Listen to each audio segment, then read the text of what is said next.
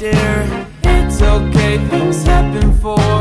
Reasons that I can't ignore, yeah